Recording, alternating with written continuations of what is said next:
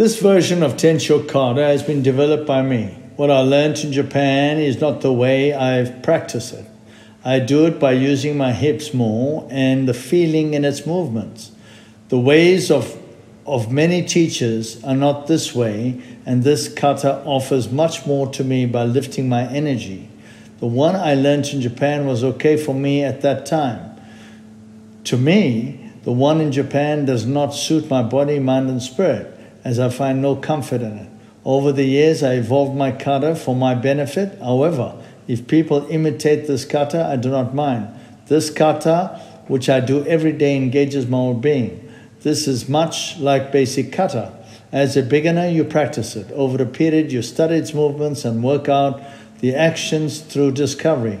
I love this kata, and to me, it is a defensive kata to avoid and take down the opponent.